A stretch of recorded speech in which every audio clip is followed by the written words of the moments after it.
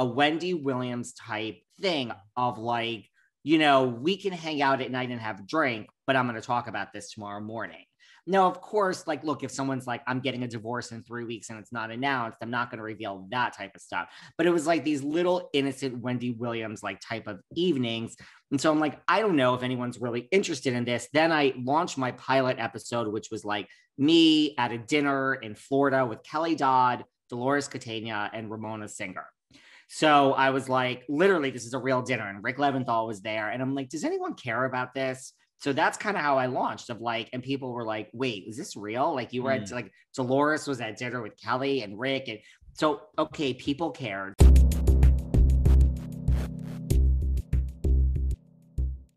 Welcome back to the Ivory Tower Boiler Room.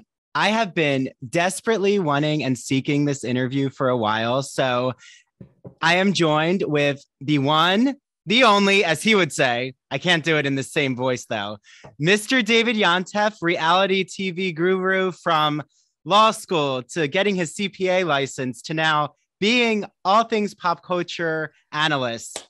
David Yontef, welcome to the Ivory Tower Boiler Room.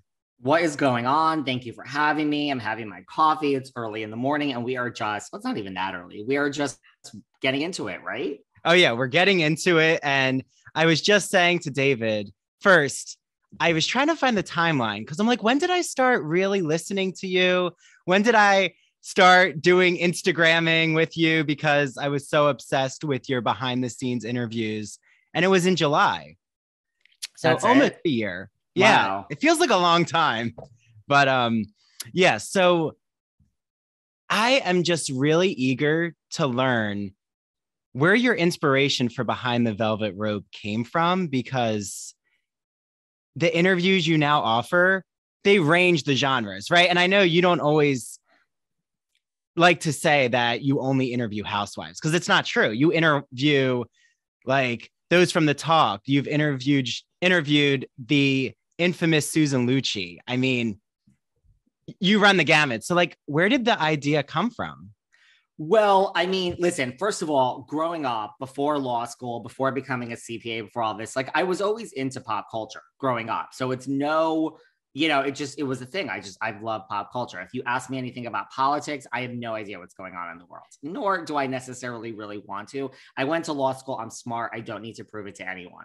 so, I mean, growing up, it really was all about pop culture. And then, you know, I went through a bunch of things with my career. And when I stopped practicing law, I fell into HR and recruiting. Like I ran recruiting at like Martha Stewart and like I mm-hmm. was, I was corporate. So I worked for all these companies. So it's not like I went from law to this. I went into HR and recruiting before, but I worked for all these companies that kept merging. And then when my last company merged, I was like, I don't know what I want to do with my life. I was already kind of hanging out with a lot of, listen, I mean, you live in New York City I mean, you have more access to it than some people, you know, it's like LA, New York. So I was already hanging out with a bunch of people like from reality TV you know, and eh, listen, I'm like a business person. So it was always in the back of my mind, like, how is this going to be a business? I didn't really understand. I mean, Margaret Josephs is one who would always say, like, you need to figure out a business with this because, like, you hang out with us like what are you doing with your life? And she was I, really i was doing nothing with my life for a minute. And so when i started this podcast it really was the origins really were a wendy williams type thing of like you know we can hang out at night and have a drink but i'm going to talk about this tomorrow morning now, of course, like, look, if someone's like, I'm getting a divorce in three weeks and it's not announced, I'm not going to reveal that type of stuff. But it was like these little innocent Wendy Williams like type of evenings. And so I'm like, I don't know if anyone's really interested in this. Then I launched my pilot episode, which was like me at a dinner in Florida with Kelly Dodd, Dolores Catania, and Ramona Singer. So I was like, literally, this is a real dinner. And Rick Leventhal was there. And I'm like, does anyone care about this? So that's kind of how I launched of like, and people were like, wait, is this real? Like you were mm. at like Dolores was at dinner with Kelly and Rick. And so, okay, people cared. So when I started, that really was the anthology. It was one day a week, a little story, another day a week, an interview. Then look, I'm a business person. You look at the numbers. Mm-hmm. People, I think people now love these stories because I don't do them anymore. So I, I kind of just it just like the interviews were the thing that kind of were taking off in the beginning. And then the podcast was already a thing. But when COVID hit, it really was like I doubled down and I just started doing a ton of interviews. And then we went to three days a week, four days a week. And now it's like we are five days a week. It is five interviews a week.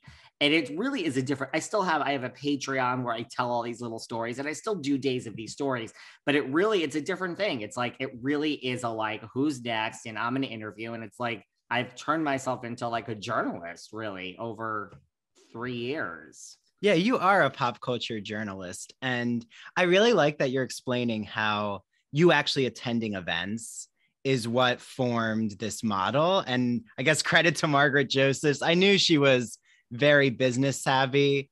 Also, didn't Margaret have a really um well, I was going to say profitable, but a very long career in the fashion industry or marketing?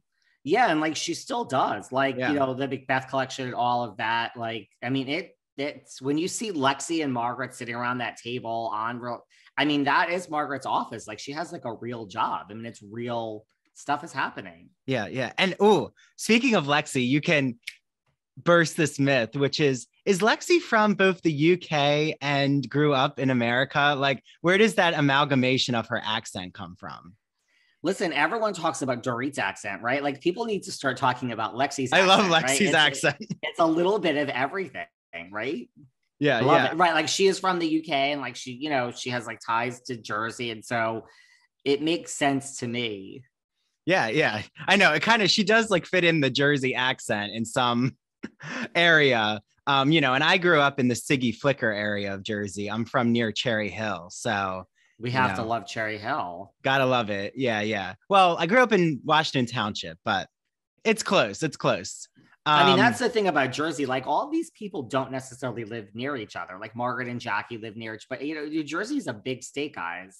Yeah, yeah. And I'm pretty sure Melissa grew up in Toms River or South Central Jersey. I don't know. She's not from.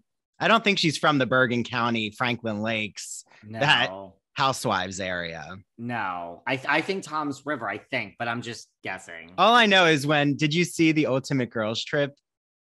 When uh, like yeah. Kyle is joking about her accent and she says "wooder," like that's a very South Jersey thing. So I'm like, oh, Melissa, you still got your, you still got your roots. Um, she does. Yeah, yeah. Well, and okay, so I can't let your first event go because you brought up Ramona Singer, you brought up Dolores Catania, and you brought up Margaret. So you form a relationship with Margaret at that dinner in Florida, or had you already known Margaret? No, Margaret, the dinner was Dolores, Ramona, God help us all, and Kelly yeah. and Rick.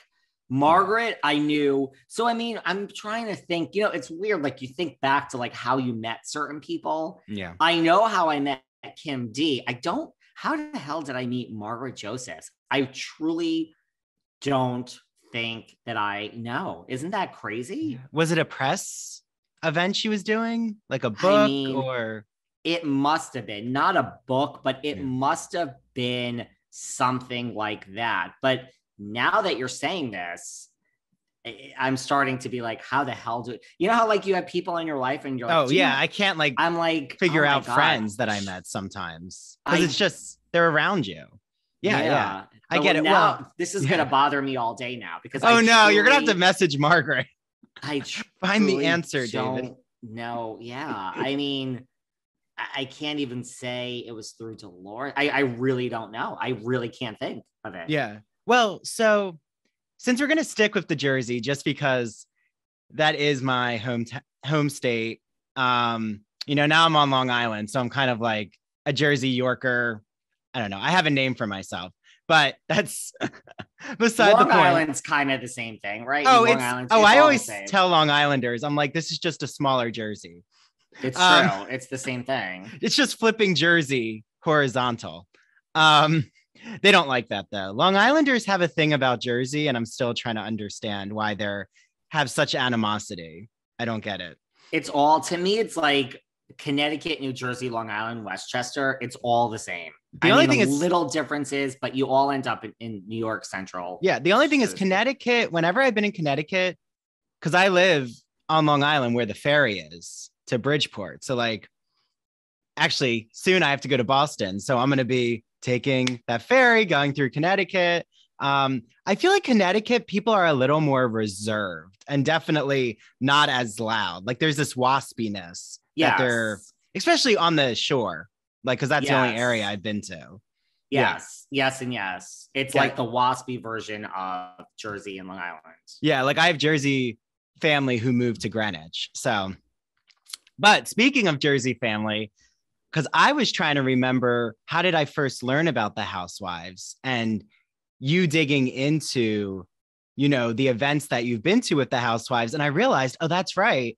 One of my mom's cousins lives in Coto de Caza and um, knew when they were hiring the Orange County housewives and they were all mocking it. Like it was not received well by the community of Coto de Caza, from what I remember. So, like, looking back at those beginning seasons, because I didn't watch Orange County, my first experience was New Jersey. Like, Really? I don't remember any of the early seasons of Orange County. Like, so where did you start with your Housewives viewing?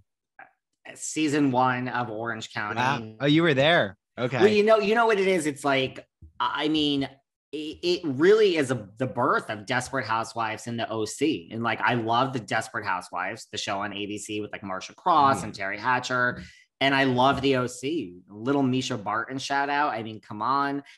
So Mischa Barton will be on Behind the Velvet Rope one day. Trust me. She's like oh, yeah. on the, you know, like people are always like, who's your dream guest? And it, it changes because I get people that I really want. And then, but Mischa is just one of those that floats around on the top of my list at all times. But so it was like the reality version of like Desperate Housewives, you know, in the OC. And I'm like, Mhm. how could this not be a great show? And then I started watching and it was like, oh, I mean, granted, it was so different that first season of the OC. I mean, there was no glam, there was no, I mean, it really was reality TV. Yeah.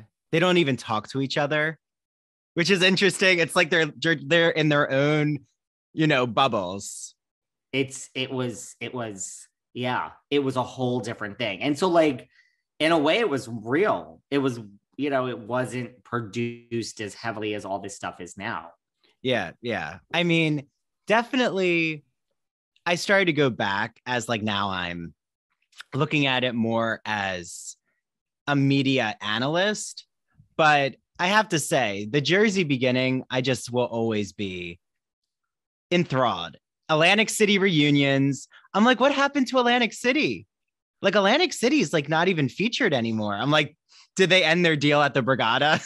like, i mean andy just came into new york to re- record the re i'm like oh, wait, it's in New And- York, the Jersey reunion. it used to be you know it used to be in long island believe it or not for years That's so interesting. So it has to be a- like, yeah. after Atlantic City with like Margaret into like that middle era, it was always in Long Island, always. Even with like Jennifer Aydin, like pretty recently, probably even four years ago. This year, it was in New York City. I'm 99. Like they just filmed it. It was in New York City. They filmed it yesterday.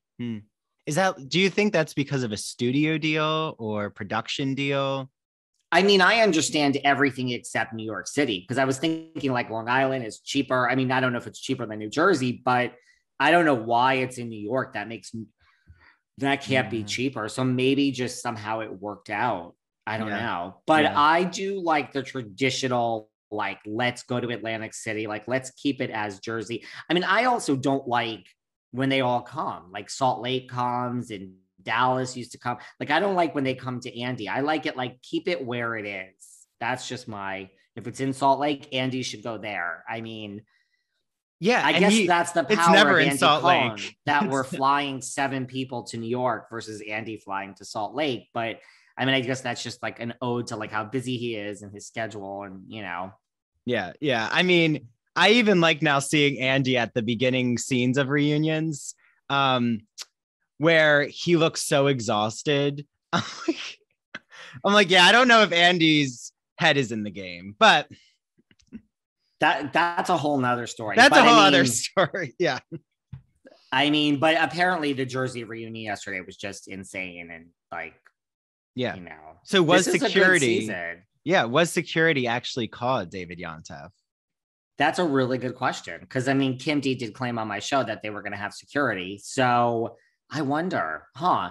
And it's so funny because I've already spoken to Kim D this morning and she's like, you know, should I call Dolores? And I'm like, should I call Margaret? I mean, not that either of them would really reveal so much, but Kim is like, call Margaret. I'm like, you you go call Dolores. Like, you go get me something and I'll I'll call Margaret. Yeah, yeah. Well, and you've interviewed Dolores. I remember. I think I definitely listened to that interview. It was really oh, and you've interviewed her husband. You've interviewed Frank Catania Jr.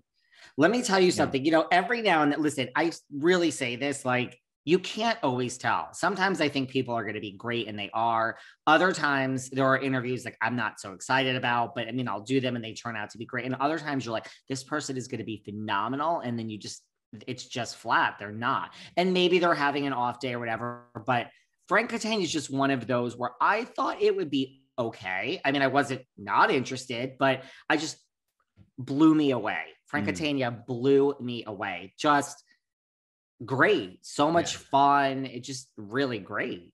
Yeah, yeah. I remember seeing the video clips. Shout out to David Yontef's Behind the Velvet Rope YouTube. Um, and he's wearing, I think, a Wayne Hills sweatshirt. I'm like, it's he's just who he is and really nice on Instagram. I mean, I have a thing for so Frank nice. Catania Jr. Um, I think. I mean, all the game men do. Do I think? You know, I yeah. actually don't as much as I should, so to speak. Like, so, which I, Jersey listen, guy do you like? Are you the most sexually attracted to, David? There's really only one, Evan. Evan Goldschneider. Oh, he's, oh, he's so handsome. Yeah, I mean, That's I actually it. really like Joe Gorga. You I'm do? like, I could have Joe Gorga, Evan, Frank Catania Jr. And I mean, I don't mind the others. It's just truly, if I had to, I mean, I think, yes. I mean, of course, Frankie Jr., but it's all about Evan for me, really, period. Yeah. Yeah. Okay. So I know we took a detour, but I have a feeling this interview is going to be a real, a lot fun of stream of consciousness, you know, just because there's so much going on in the Bravo universe right now with Jersey reunion. Beverly Hills is coming back May 11th. I know that I want to hear your opinion about the RHONY announcement, but I'm sure you also have things coming up on your show because I know how you do it, David, with your in depth, you know, behind the scenes. So, anything coming up on your end with this RHONY split? Of the mm, shows. Well, you know, like I just had on Countess Luann, I just oh, yeah. had on Eboni. I have, well, I'm also, okay, so I am going to be doing a deep breakdown. You know, like I do my breakdowns. I am going to break this all down. It's yeah. coming up. I think, I don't know when this is going to air, but I think this week I'm breaking down just like, what does this look? I mean, the thing is, my podcast is we have guests. And then when we don't have a guest, I don't really do the gossip. It's not really, if I want to know something, I'm going to call you in. But I like to, analyze like when I had Kathryn Edwards on from Beverly Hills, like I analyze from a producer's point of view of like this look, I don't work for Bravo. What do I know? I'm not always right, but I'm right a lot of the time. It's more like this is what this means. Like, let's mm. just get calm down and this is just what I think from a business point of view. This two RHONYs, what does this really mean? Is this really good news for everybody?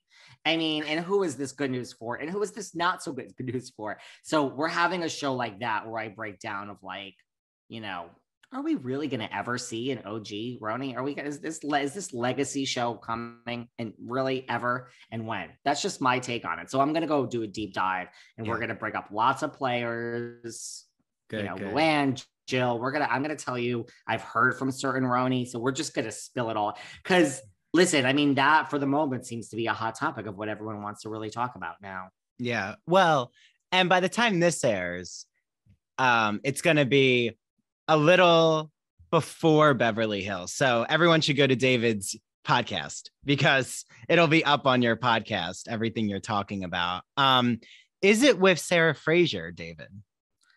It will probably, yes. Oh, okay. I love Fraser. you and Sarah together. Oh my gosh, you're, and that's the thing. You're starting to go back to looking at the hot news in pop culture. And I do like how that kind of breaks from the other interviews. Like it's a nice shift to go back and forth. You know what it is? It's like, listen, I say that you know, because I do some consulting on the side for like podcasts that are just starting out and all this stuff. Like, I could really say for me, year one from doing this show was just kind of like figuring a lot of stuff out. I mean, there's a lot of stuff I, I don't even know. I didn't know anything. Uh, literally, I mean, I'm talking about uploading, editing. Like, oh, yeah. I knew nothing, but it, it, worked. The shows, but I mean, I could do with this all of this now in my sleep. So year one was kind of like figuring it out, booking guests, just like okay, people, this is this is people are listening. Year two was all about you know, let's have ads and some other stuff, and really honing in. And the guests got bigger, and really honing in on like what like predicting like what works and what doesn't work. Mm-hmm. And now I can pretty much tell you like this guest, this is self indulgent, David. No one is, I mean, it, they're, they're still going to listen, but those breakdowns, like people want that. Like these breakdowns with Sarah, where I'm just like talking about what this means in Beverly Hills, these chart and rank so much higher than so many big name guests, really, yeah. which I guess is a good positive thing. Listen, it's not even a little bit easier. It's like a trillion times easier to do my weekly recaps with Sarah about what it really means with RHONY than to go book, you know, a Susan Lucci for a lot of reasons. Yeah, but that was such a wonderful, and that's the thing is like you're saying, you don't give that up, but yeah, I'm with you. I mean, I'm going into my second year of this podcast and sometimes I thought, oh, the name of that author, that's going to be the one. That's the one. Everyone knows this author. And I'm like, wait, why is this other like discussion about, I don't know, thriller films or horror films? Oh, why is that skyrocketing? But it didn't have a name. It's really interesting. It's really weird. And yes, like, so, you know, I mean, I think, and that's what I love about my show being five days a week. Like, it will my show will never be will never be like it'll never be not the interviews. Do you know what I'm saying? Like the yeah. interviews will always be like, I'll never not want to interview a Susan Lucci. One of my absolute positive favorite interviews I have ever done of all time, hands down. Oh, yeah. Icon, icon, icon. But you know, this other stuff is good for like one of the days of the week it's great. So, but I I can predict now. You know, sometimes I'm a little off, but I can predict this huge name. This isn't going to chart. Listen, here's the bottom line. At the end of the day, I could have on Susan Lucci every day and every other actress, Mischa Barton, whoever you guys are thinking about as your favorite. I mean, it doesn't matter. My brand is housewives. People want nothing from me more than housewives. They love these other people. I just had on kelly rutherford from melrose place and gossip. Like they listen they love it. They're thrilled to have these other people on. But at the end of the day if i just said everything else is being scrapped and we're just doing housewives people would like be thrilled literally they, they yeah. would listen to a housewife that I had on from 30 years ago who's like not been on the TV for this. It doesn't matter. That's what they want from me. So we're never, I'm going to, you started out by saying this, we're never going to be 100% that. It's not going to happen. I'm always going to want the Kelly Rutherfords and Mischa Bartons and, and Tori Spellings. And these are always going to be part of my show. But the bottom line is people want me to talk housewives and talk to housewives and talk to Bravo people. That is just my brand. It's just what the people want. Yeah, yeah. Well, and you know, I'll reveal my cards, which is you've been my mentor in all things the pop culture universe, but also like me realizing, oh, you know what? I should reach out to pop culture experts, especially podcasters like yourself, Taylor Ferber. That was really fun. Dana Wilkey and I have an episode coming out um, because they're insiders and they also like you know the you know the game you know you approach it from like you said a journalist perspective that's why i'm less interested i'm less interested in someone who how shall i say this because you you've dealt with guests like this i'm sure you have who can't break contracts or who can't reveal too much behind the scenes like no i want to know the production side i like ex housewives because they don't have a stake in you know, going back on again. And, you know, that's a tough, they want to talk about the gossip. And I'm like, I'm not really interested in who fought with who in that scene. Yeah, I mean that's the thing. Listen, it's like a balancing act. Like you know, ex housewives chart just as well, if not Mhm. better at times than a current housewife. Like you know, yes, the current housewives.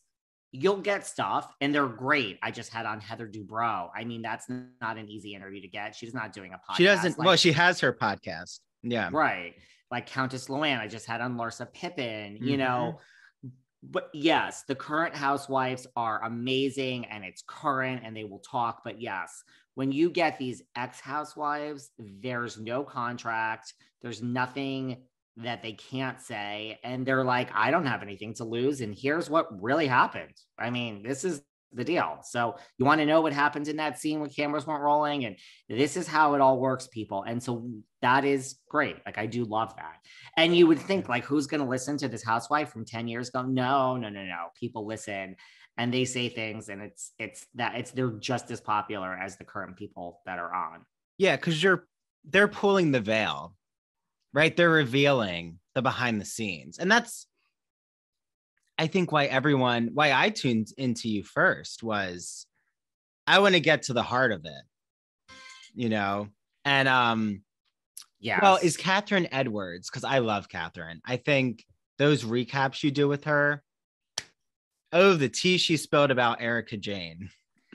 Listen, it's like I talk to Kathryn all the time. Now, Beverly Hills is coming back, Kathryn. So are we in? Are we out? Listen, I don't know. I mean, like, I feel that I got look, this thing where I have Kim D on my Patreon every week and she's breaking down. I think even if she was just recapping Jersey, people love it Oh because yeah, it's it's the accent and Kim just tells it like it is.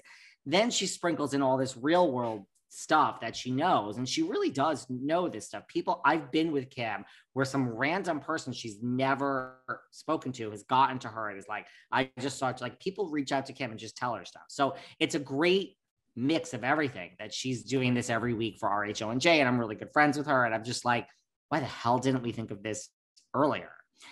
Kathryn too, like she's was on for all. I'm like, do you want to come back? Like everyone's like, make Kim permanent, make Kathryn. Like people don't realize nobody wants to be permanent. It's a lot of work, and Yeah. I mean, they just they just record and then go about their lives. I then have to sit with like a whole, and I I don't really edit. Like I don't edit things out, but you still have to. You know how it is. You have to prepare the show and get it out to the humans. So oh yeah. but even so, so it's like I am hoping Kathryn is interested in something regular for Yes, Beverly please, Kathryn. How about Kathryn and Kim together once in a while? That would be great. I mean, Kathryn, listen, I've Kim, already, and Dana. it would all be great, you know? And so it's like, yeah. I mean, look, if I, because Kathryn wasn't really, no one realizes as regular as everyone thinks. She was regular for the reunion, but she wasn't regular all, all season. Like Kim, we have every, Every- freaking Saturday. Yep, every week. But I would take Kathryn, and it's so funny because I do have an ex RHONY who has approached and is like, huh, maybe Hmm. I want to be the Kim D when RHONY comes back. And I'm like, okay, I don't know if I'm like, we'll take you once a month, we'll take you once a whatever you want, sweetheart. So Yeah. really, I think I now have something in the RHONY category. It Ooh. really, these episodes, those episodes work where it's an ex housewife for that franchise that is talking about it and sprinkles in some real world stuff. That's like almost like the gold standard. Yeah. That's what works the best. So Yeah. I'm hoping, look, I do, I do, I think Kathryn will be back for Beverly Hills in some respect. Yes, I speak to her all the time.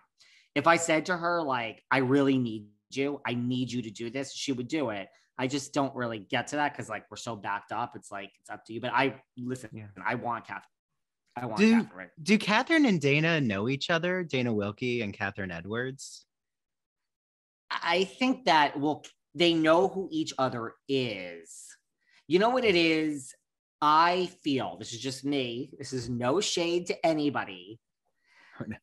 You're like, oh, please Uh oh, I'm ready though. No, no. Say what you're gonna say. Dana always feels that I shade her when I go on other podcasts, but Kathryn and Dana are just like I think the exa- so opposite. I, I don't see any. There's not. There's not one shred of similarity that I see in either of them.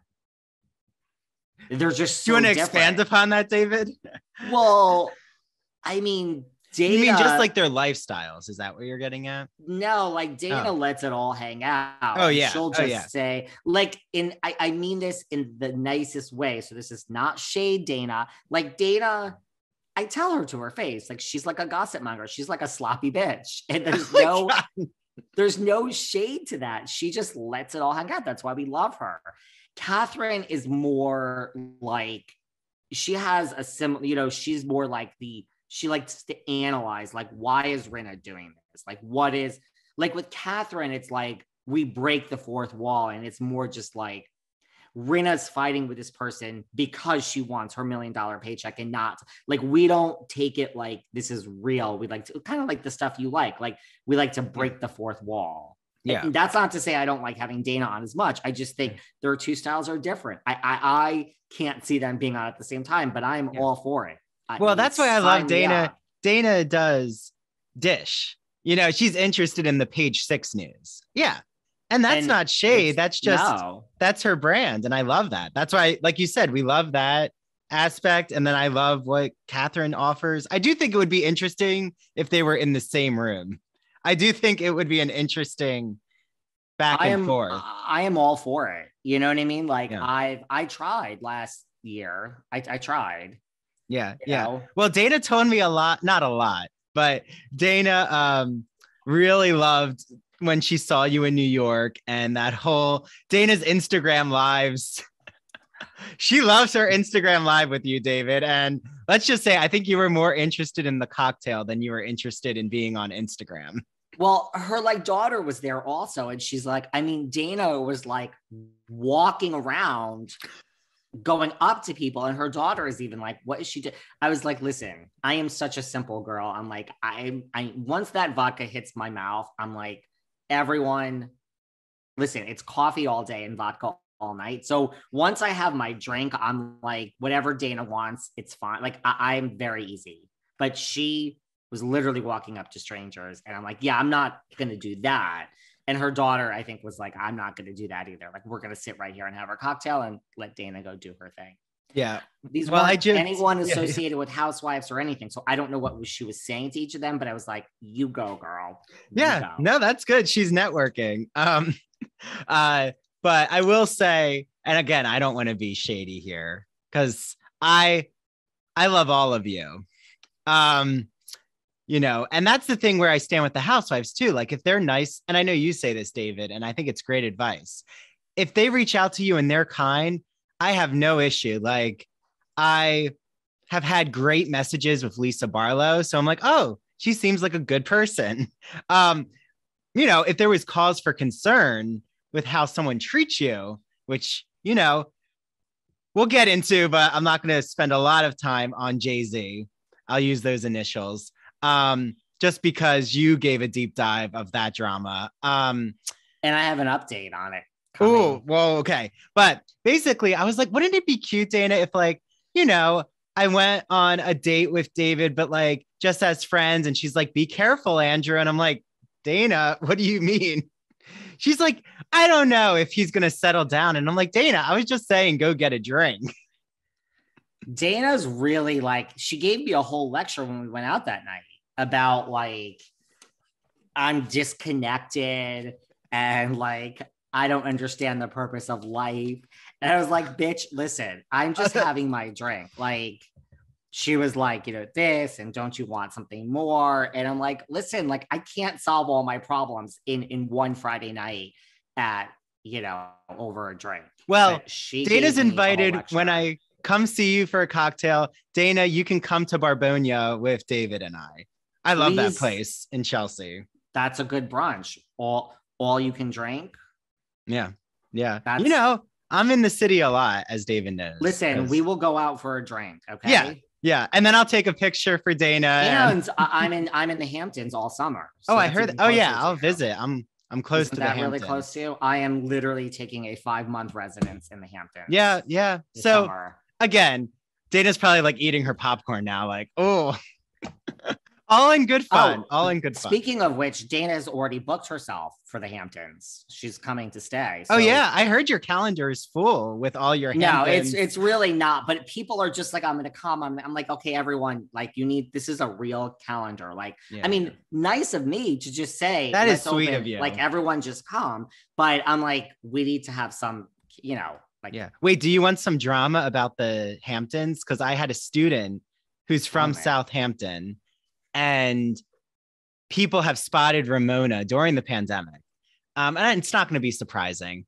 She like, you know, wasn't following protocols, whatever. I'm not gonna, I'm not gonna pull a Kelly and Rick Leventhal, uh, you know, getting into all the politics, but she likes to eat ice cream inside boutique clothing stores and apparently just has a certain attitude that doesn't surprise me like she's very the thought of seeing Yeah. Ramona in the Hamptons this summer. just that scaring you?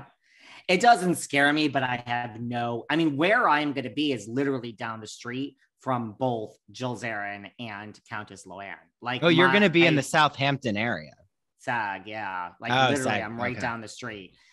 Having said that, like the last time I was the lot when I was in Southampton last summer, I was with Elyse Slaine, and like I guess someone texted Elyse and they were like, Ramona's right down there. Like I guess it was a friend, and like we were meeting her friend. I can't remember the details. And like the friend was like, Oh, where you are, Ramona's right down the street. And I'm just like, as Lisa and I were walking, she's like, I really don't want to pass by and see Ramona. I was like, honey, I, I don't want to see Ramona any more than you do. Like it's this isn't like I have no interest in seeing the woman, really.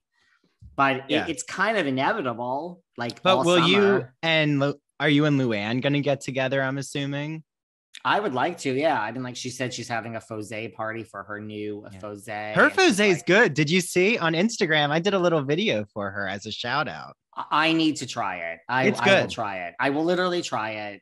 I will not try it on a Friday or Saturday night, but I will try it some other time. Yeah. I will try. someone reached out to me and they're like do we need to mix her Fose rose with liquor and i'm like i don't think that's the point but I've done that with like like Loverboy is way too like non-alcoholic for me. So I when I've been to Loverboy events with Kyle and Amanda, I'm like, I will drink this, but I'm gonna put vodka in it on the side. yeah It's just me. Yeah, yeah. Well, okay. Also, because I know you know the town hall. That's where Luann had her incident. Um, The townhouse, yes. townhouse, the town hall. No, sorry, that's like a venue for performing. The townhouse. Andy Cohen, I'm not sure if you saw this, but on Watch What Happens Live, he implied that male escorts go to the townhouse. here's the thing. It's i mean first of all i haven't been there in like say a year and a half but it is that i mean that is kind of well a it's the reputation of that bar. It is. And b yes i, I would agree with that. And c i would say it's not as rigid anymore. Like back in the day it truly was the bar. It's in midtown. It's near upper it's near where everyone lives. It's in Mhm. like the 50s it's near so but it was the bar like back when people were in chelsea and you know the west village and all like the young hip people.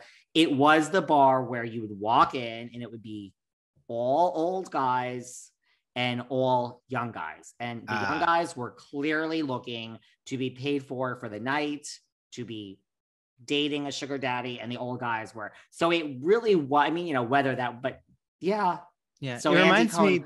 and yeah. it still is but it's like really more integrated now like sonja morgan and josh flagg always go there when sonja's in town because like they Mm. have a piano and like you can hence luann's thing you can you're not really You could sing Frank Sinatra standards.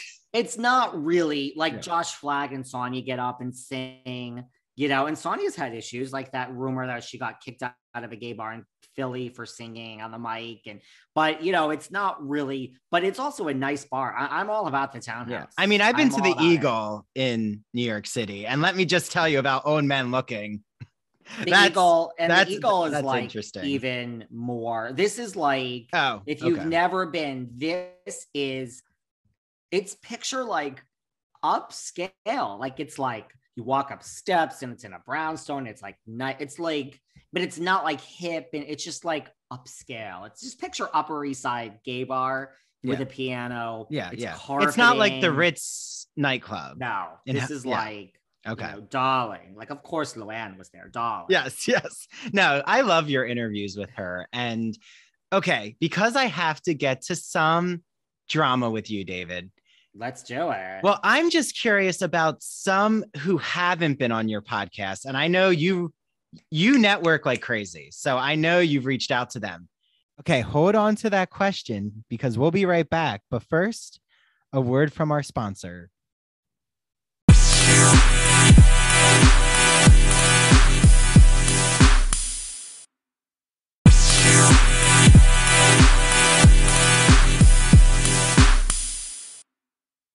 Brandi Glanville. Why has Brandi never been on your podcast? Isn't that a good question? Brandi's like a little bit of a snob bitch, isn't she? She now I don't reach out directly to technically to people anymore. Like I do have a team. Yeah. And that's not listen, I book people in a lot of different ways, but yeah, I mean, I did reach out to Brandi directly way back when I was first starting. And she resp- I mean, this was like at night. I'm like, honey, are you drunk right now? She responded right away. I have to find these emails. And she said something like, Thank you, but I'm not interested, or something. Just whatever it was, I found it to be rude. Like, there's a way to say, like, thank you, you know, but I just found it to have an edge. So it wasn't like, thank you, but I just have a really busy schedule. I'll keep, like, I'll reach out to you when I have more availability. Like, the Right. door wasn't open. No, and it Oh. was, it was, it was. Now, granted, mind you, a no is never a no. I mean, you get no's and then they become yeses. So it's not like, but it was, it's not like we have any beef. It was just, but Yeah. the way she said no just had this bitchy edge. So I responded, not nicely. I responded, I said, okay, you know, because listen, I'm always in sales mode, honey. I'm like, okay, you know, I just had on Sutton Stracke. And, you know, I mean, I, I name dropped some big housewife names. And she responded, she responded, she's like, although, although very lovely, al- although they are, those are all very lovely women, it doesn't change my mind. I'm not interested, or something like that. Wow. It- something like that. Well, do you know Dana tried to have Brandi on to resolve their tension from the show? And what, how did that go? No, Brandi, I think, ignored her from what I remember. Um, so yeah, it just seems like Brandi's not really doing podcasting. Uh, well, she has her show, Which- but Which, you know, it's, and I really say this in all seriousness the best, I mean, people that people either listen to podcasts or they don't. There, there's two types of people. Mhm. And so, like, I truly do not listen to podcasts. I will put that out there. I don't got no time, but love everybody who does. But like, the thing is, I tell people that have other pod, like Kelly and Rick.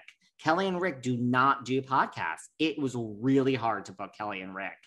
And their thoughts are like, we would never, we would never go on a podcast. We have our own. Whatever we're going to say, we're going to say it on ours. And I'm like, it's such the wrong attitude. It's like people listening to a podcast, like you have a captive audience, and there's a gazillion people that listen to the Behind the Velvet Rope that do not listen to Kelly and Rick unmasked.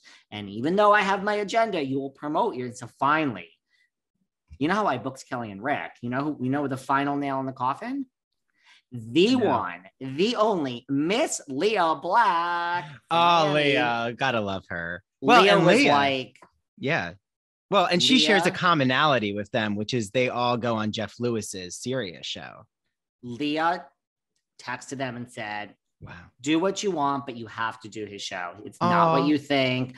And after trying Kelly and Rick forever, the power of Lea Black, they responded in seconds. And then Lea's like, okay, they're doing it. I'm like, what? Yeah. And then Kelly and Rick reached out, and I'm like, oh my God, the power of Lea Black. Yeah. Yeah. Do you watch So- their RHOC recaps on YouTube? Sometimes. Oh, it's I love it. I, I, I, I, I, say it like that because I told Kelly I watch all the time, but I mean, I'll start watching Kelly. yeah. Well, let's just say I They're commented. good. They're good. Yeah.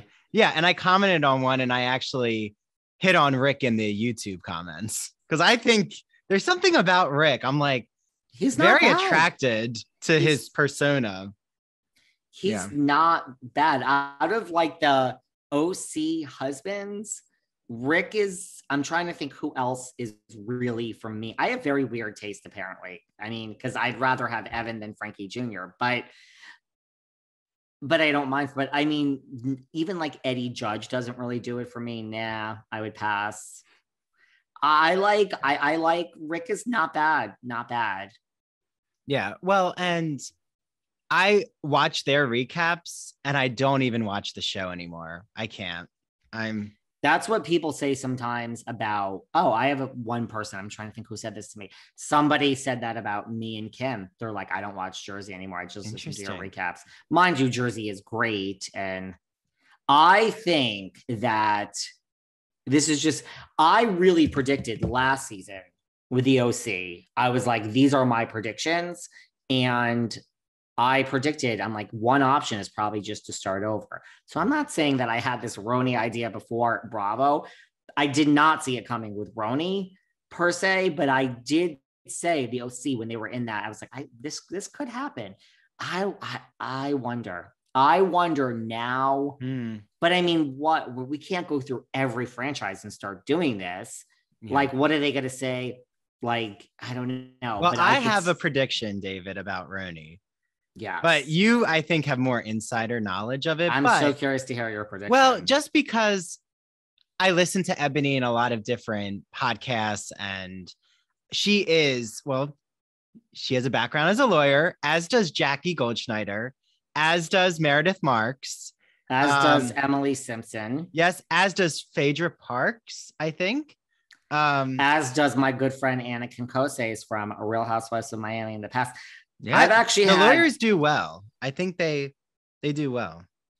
but what were you going to say? The lawyers Yeah. do well because you can't argue with us. Like we will, I will come up like it's if you watch like Jackie, like even the Oh, other Jackie's week comebacks. when Jackie oh was like, but I, I don't understand. She's like, I wouldn't have had to have an analogy. Like this is how lawyers are. She's like, I wouldn't have had to have an analogy about your hu- like about your daughter if you didn't say something about my husband. It's like brilliant answer. Yeah. Or even when she said, I will always remember Jackie at the Jersey Shore, right before Melissa, I think, throws the cheese plate. Um, uh, some what did she say exactly to Teresa? She says, um, oh my goodness, like in that heated moment. Um, oh, did you get that in jail? Like, did you get that knowledge in jail? And Brilliant. I'm like, she's.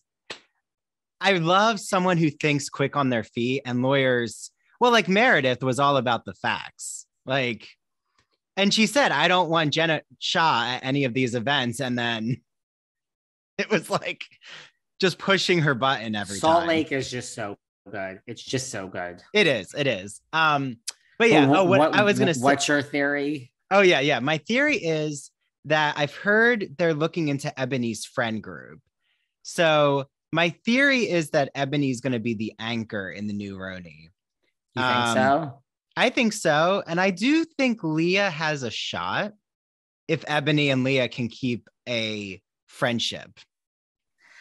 Well, I am not. I'm purposely not commenting because mm, this is my shameless plug. Go and listen to my chat Yeah. when it's out, which will be out but on RHONY because I talk about all of this and who has a shot and who I think really gets screwed from this whole, you know, two RHONYs and all of that. But I, I wonder. I just I wonder if this is now going to affect the OC. I don't know. Mm. I don't think it will because I don't think they would get rid of Heather. I mean, Heather's very controversial. Lots of people love her and lots of people hate her. But I love her on I your don't know. podcast. That's what I'll say. I love her when she's by herself.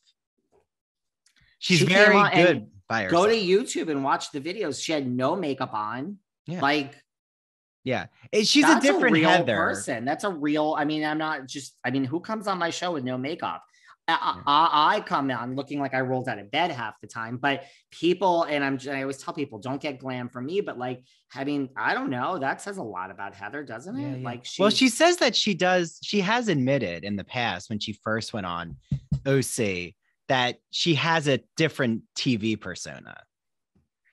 And I get that. I mean, meaning right, meaning that she's good at her job. yeah, she's good at her job. She's uh plugging certain things. I mean, like you say, okay, there's two motives. This is the David Yontef school of thought. Um, fame or money for why you would go on the housewives. Um, so I do think, wouldn't you say though, a lot of times it's a mix, like fame and money. it's a mix together. fame and money and then okay we have a rare exception of it's covid and kathy hilton can't go to europe like usual and she's bored and her sister's on the show and why not film a few scenes? So kathy hilton doesn't want fame or i mean she doesn't need it she doesn't need money so there's rare i mean rare exceptions. Yeah i think i mean i don't see how else you can argue it. I mean if someone has a ton of money, there's so many people with a ton of money that aren't interested in fame. They have great lives. They would not. Why would you go and put yourself through so much trauma?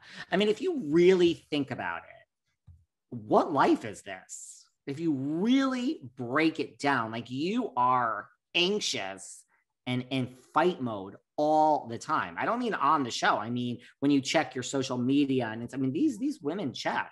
They check. Oh, so, Oh, like, if you have a ton of money, why would you do that? It's because you want fame. And mm. then vice versa. And I'm not, there's no shade. I'm just mm. saying, I don't know. You can't really convince me that you have signed up to be on the Housewives for fame or money. Like, I, I don't see any other box Yeah. that is to be checked. That's Yeah. my, Well, and like, let's take though what just happened with New Jersey, like Jackie using the platform to ex- explore her anorexia. And like, I do think there's also a rare occasion where it's used to like amplify um, something that you're going through that can help other communities. Right. And I like what Jackie, that she's being vulnerable in that way. and like you know heather dubrow says Mhm. you know uh, i came back in part to show like my kid's journey and like you know she has one you know daughter that's bi one daughter that's lesbian and like let's explore that and you know although one she didn't realize was going to come out the other she so it's like i think there's a lot of other reasons and byproducts but you know i mean i think jackie wouldn't be there you know everyone says jackie has so much money well then you want fame Yeah. I mean, Yeah. you also could want more money, like, but I don't know. I don't know. I mean, if you have a ton of money, you're not doing it for the first year. You get sixty thousand dollars. I mean, that's what it is. Period. So, I mean, eventually, but I don't know. It's just so. Then that's no shade. It's just why else would you be doing this? Yeah. There's Yeah. a ton of people with a tons of money that would be like, I would never put my business on TV. Lots of people wouldn't. Lots. And then, right? Well, And that's why I think RHONY need- has RHONY has a hard time because of that. Because of people who don't want to be on TV because of their professions. I think in New York, it's harder because you have a lot of men in finance and women in finance that, I mean, a lot of financial companies just won't allow it. Yeah. by the time you hear this, like I have, I mean, it will happen. My guest this this Monday is Tiffany Moon from Dallas, who was on before, but she's back.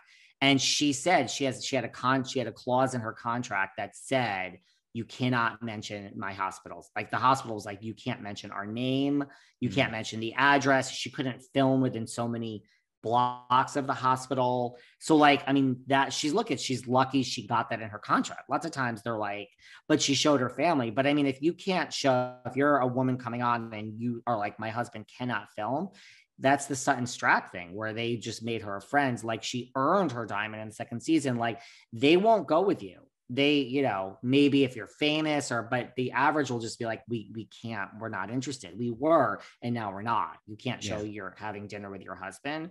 So with finance, it's a lot of times the companies are, it's like it's in their contracts. And I mean, these men, you know, I'm saying if there's a woman, not that women couldn't do this, but if it's the woman and the husband, I mean, some of these hedge funders, they make like, you know, two million, three million dollars a year, like Oh yeah. going on housewives in sacrificing this. Yeah, no, that's a risky investment, literally. Um, Yeah. I'm loving it, David. I'm telling there's you. a lot. There's a lot going on. Yeah. Well, okay. And I'm also like coming from academia, I could imagine, oh, wouldn't it be amazing to have a housewife at Columbia University? Like the hottest thing. Can you imagine though? Like, I mean, it would be really fascinating, but like that to me is where an Eboni, like Eboni and that housewife would really hit it off. But that's where I think the tension is though in that group. Is I've I've Yeah. always said, and it's not just because I'm friends with her in real the real world, or I truly can say, I mean, I get it. I don't understand all of the drama towards Eboni. I I don't really, I get it. You don't want to talk about race and blah, blah, blah, but I don't really like New York to me wasn't as bad season as everybody claims. That's Yeah. just me. I thought it was a good really- season. Like I Yeah, thought it was entertaining. I didn't Yeah. really understand why like the sky fell down and we had such a bad season and we had to revamp the whole thing. I just I don't get it. But it really happened. I mean, it was like a mass mass revolt, you know? Well, it, and it seems like a lot of those women, because I've said this to Eboni before, like a lot of them were just not open. Like they did not want to receive what she was saying. And it was like, and you can clearly see there's this like barrier. They're, you know, not really interested in having a back and forth. Right. And like, like we even talked about this when she was just on my show again. Like, I think that, look, I think Bravo was in on it. I think Bravo wanted her to come on and we were at a place in the world. And I just think that Bravo and the producers underestimated the some of the OGs, their ability to like just embrace this. Because you would think about it with everything going on in the world i'm sure they said oh this is going to be a blockbuster. We have this woman ramona who's so you know we have so much stuff over you know 12 seasons about how much trouble she is as a housewife and racism here and there you know they, everyone brings up these things ramona said this they're like this is going to be the highest rated thing. We're going to have this first black New York housewife come on, and it's going to be a teaching moment for Ramona. And at the end of the season, Ramona is going to change and say, like, like, I get it. And the whole world is going to applaud. And then we're going to be able to keep Ramona for like the next 20 years. And like, and it's going to be a ratings blockbuster because really they that's all they care about. Let's just face it. Yeah. I just think that they underestimated Ramona and you know, I guess Luann too, to like say we're gonna change and embrace this. It was the opposite. It was like this is our show and this is how it works, and there's the door, bitch. And that, and then I think they underestimated Eboni of like, yeah, no, that's not how it's. Again, Eboni's a lawyer. Oh, like, you're not taking me out back. I got some other plans. So I just think it was a perfect shitstorm. But I do think in Bravo's mind and casting, they were like, the world has gone in this direction and we're going to cast our first black housewife and and and we're going to have a teaching moment and these two og's three og's really but sonja kind of played we're going to come around and at the end of the season we're going to be a new woke franchise and head on into the future with the best ratings ever that is what i think bravo anticipated they just underestimated ramona and Oh, luann yeah. and i think they underestimated eboni as well and Mhm. Well, then, and then you have Leah, which don't even get Yeah. me started on that. well, and have you ever interviewed Leah? Um, I don't remember. no, No. I have not. Okay. Is there an interest there for you? I mean, look, I would She has a book coming out. I would interview everyone. I mean, Leah has a stick up her ass and probably thinks she's too good to come on my podcast, which I mean, at this point, she shouldn't because I've talked so much shit about how inauthentic she is. But I would take her. But I mean, I now it's like, why bother? Because I talk about how inauthentic you are. And I do stand by that. I mean, she saw the first black housewife ever for New York and said, This is the future. And I'm going to, you know, her brand with Married to the Mob and all that. And I'm just going to. And then when that wasn't working, she said, Bye bye. Cause I mean, I don't really care about any of this. And I'm going to go with these OGs. So to me, that's total inauthenticity. That's just my opinion. Yeah. And I do think it's odd because when she first came on, she was saying like how progressively aware she was. But it's like when push came to shove, like, and she had to be an ally to Eboni, you know. It's It- like it- the, yeah, it was very telling. it's like the person who says like I'm so rich and I have so much money. If you really have a ton of money, you're not talking about your money. Period. Yeah. Yeah. Well, I think that's a good segue. This is going to be real shady of me. Oh boy. But with the one, the only, probably won't come back on David's podcast, Jill Zarin, um, who I think anytime, even when I've heard her recently, and I just do this, David, to do some research for you to see if she's shouting you out still. Please. But she was like on Jeff Lewis and oh, Jeff Lewis. Have you ever made a connection with him? to have him on my podcast. Yeah. I love to hear that. Well, first of all, we have, I mean, I've had on all the Jeff adjacents Jenni Pulos, Chaz Dean twice, Megan Weaver, who's on his radio. Oh, all love Megan. have- you Yeah. got to go. Megan, I told Megan, I'm like, you need to send this to Jeff. It's like Megan, I got an architectural digest from showing on, on my I mean, whereas like no, not architect. Yeah, yeah, architectural digest, which for a designer is like she said she was she gave this story about Leonardo DiCaprio's house and like the, the press went crazy. And I'm like, take this and show it to Jeff. That like you has Jeff been in architectural digest? Well, you are now Megan Weaver design from coming on behind the velvet rope. I've had everyone around Jeff, but like every Jeff is so nice. He's just like, you know, it's serious, it's more Yeah. like look I, I i i do believe there's a serious component in what you can do and what you can't do but one day jeff lewis will be on one day Yeah. Yeah. I look at him with an interest too. I don't know how this our whole episode has become who's Andrew interested in. But no um i i actually have said that I, I would be interested in jeff lewis i i don't mind like a little bit of like a rigid personality oh yeah. Well, and I like that he it seems like he owns his drama. I I'm all about owning your drama. just Um, own it just yeah. own it so yeah jeff I, i'm not so i'm not so against jeff yeah Yeah, but okay. I know now because I will push this narrative forward. I appreciate that you addressed the Jill of it all head on on your show. So go to David's. Um, I'm pretty sure was that on your Patreon, no that was on No. regular your regular okay i podcast. broke down my feud with jill zarin we had a feud yeah, even though like listening back, I don't hear the tension. So it seems like a lot of it was off air, as you described. It wasn't like in the moment, like a bomb went off. no it was after Yeah. But coming up, by the time this is out, now I have a follow up to.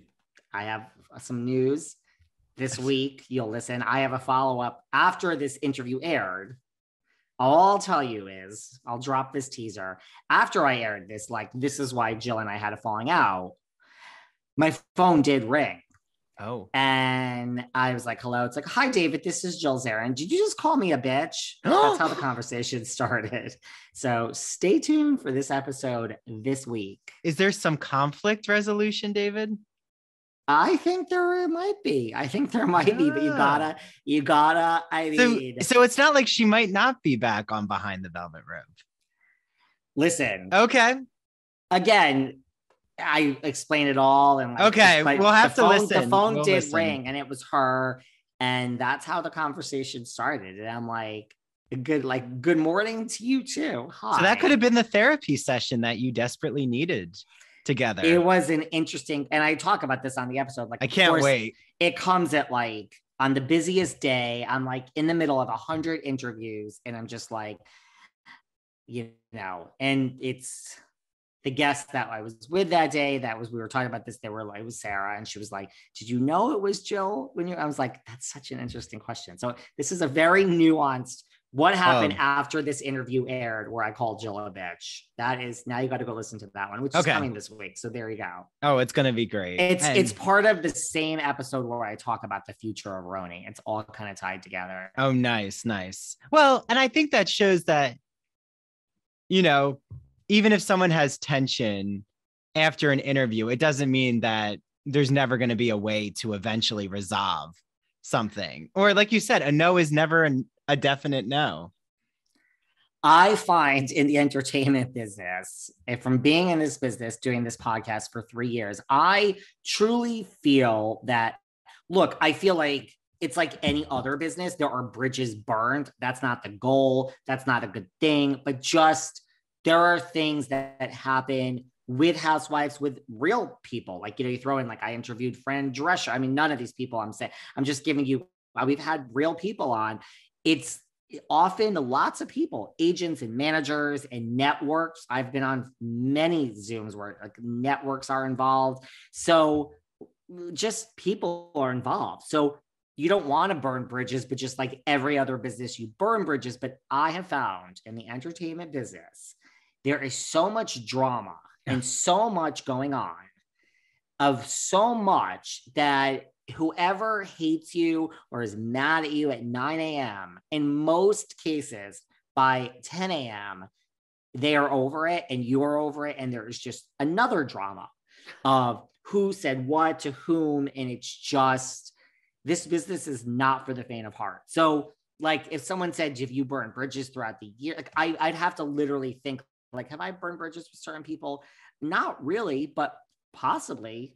Yeah. Do you know what I mean? Well, and I think know. it's fine to be juicy and shady. And isn't that something we all realize we're going to do though when we're talking to someone in pop culture? Is you're going to be a little shady. Like there's going to be a little drama. It's the entertainment value. Like, yeah. And like, for instance, like a publicist said two days ago, like a huge publicist said to one of my bookers, um something like look it was someone that is not going to do interviews anyway so it's all spirit but they were like oh you know this and that and like you know david tends to quote unquote go there and i'm like well okay sure. Like i'm not going to do a look i have people on where networks are like you can't mention this don't ask like i i always first of all i'm a lawyer so i always find a way to get something in without I never go back on my word. If it's like, don't bring up the name Erika Jayne, I won't. I have a roundabout way to, to maybe get you to bring it up,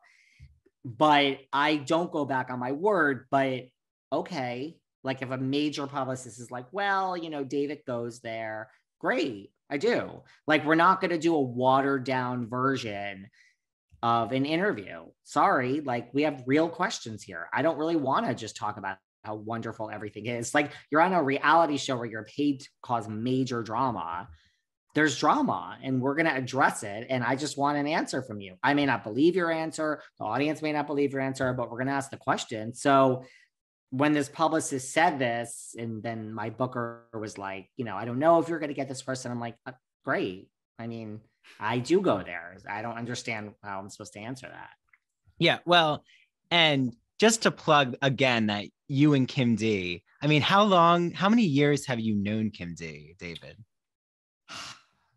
What is it? Probably when did the Pretty Mess book come out? Because that is where I met Kim D. I met her at a Erika Jayne book signing. So whereas I cannot recall where I met Margaret Josephs, I can tell you that I met Kim at the Pretty Mess book signing. So whatever wow. year Erika Jayne's Pretty Mess came out is the year that I met Kim D.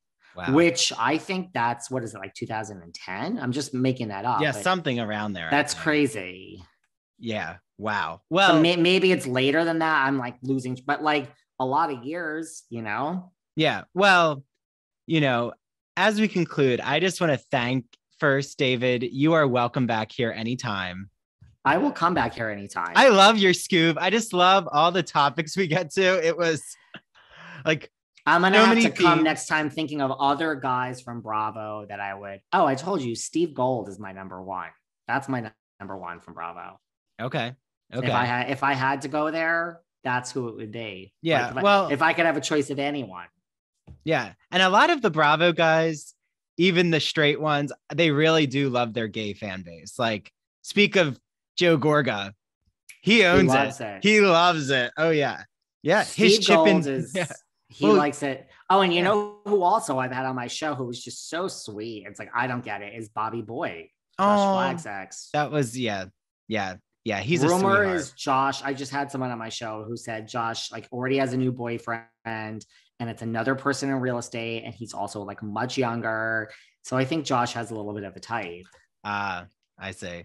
Yeah, yeah. Well, um, and I think Joe Gorga got very comfortable when he was um a Chippendales dancer.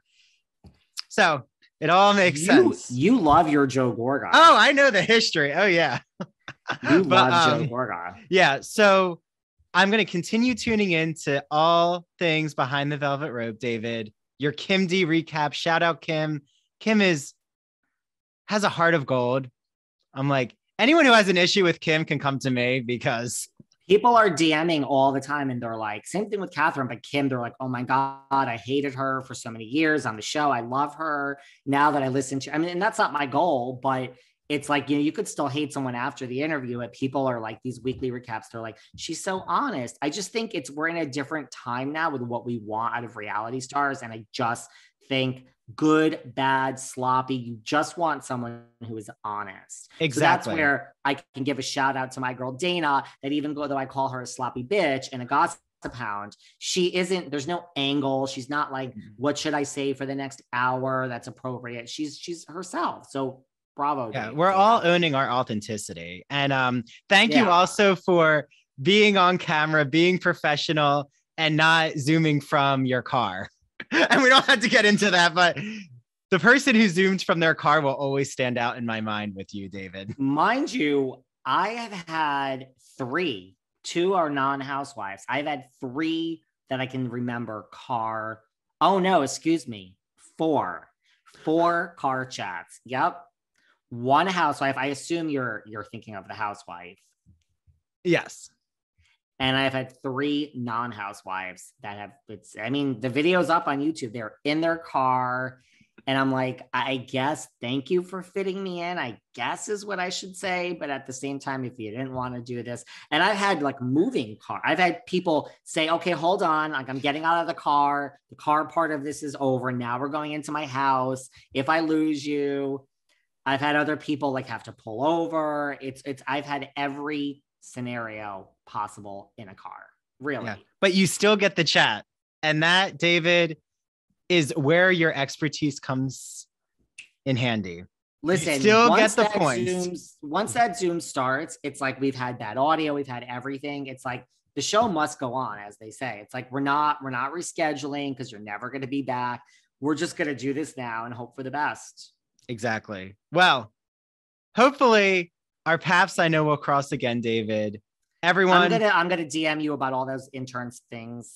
yes, yes, yes. And yes, people can listen behind the velvet rope on Apple, Spotify, anywhere podcasts are found. You can watch little clips on YouTube of all these reality stars. Mhm. Just search behind the velvet rope podcast on YouTube, or you can follow us on Instagram at behind velvet rope.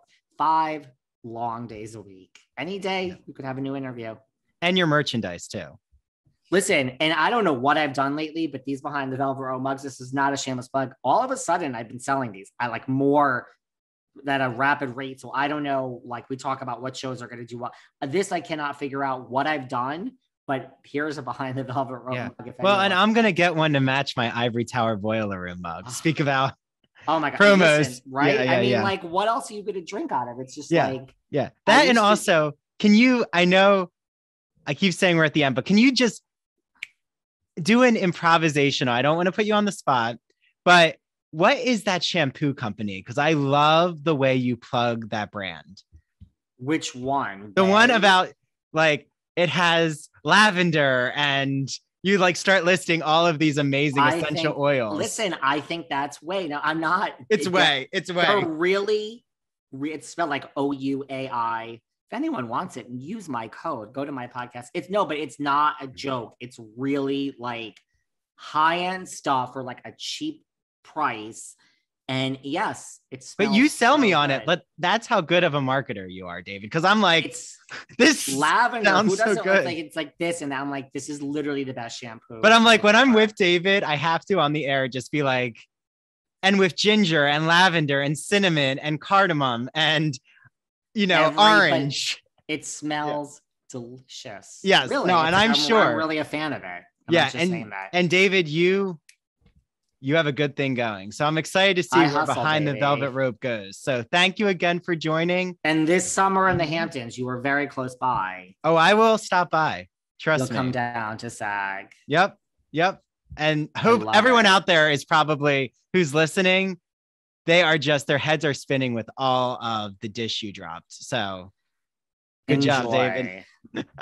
Thank you. Bye, thank you, David. thank you. All right, keep in touch.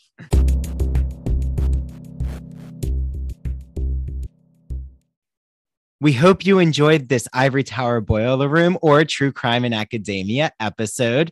You can watch our video versions of our episodes on patreon.com slash ivory tower boiler room. Join at the price of an iced coffee or join as an Ivory Tower member and get some of our exclusive merchandise. I could not be here without an amazing team. So I'm Andrew Rimby, the executive director, and I am joined with Mary DePippi, our chief contributor, who hosts True Crime in Academia. It comes out on Tuesdays. Jaron Usta is our marketing director, and our two interns are Nicole Arguello and Kimberly Dallas. And I'm actually here with Mary. So, Mary, where can they follow us on social media? You can find us on TikTok and Instagram at Ivory Tower Boiler Room. On Twitter, we are at Ivory Boiler Room. And then just search the Ivory Tower Boiler Room on Facebook and you can like our page there. Wonderful. And we, Mary and I, and the whole team hope you all are healthy and happy. And we can't wait to join you and, you know, have you all join us in the Ivory Tower Boiler Room next week. Bye, everyone. Bye.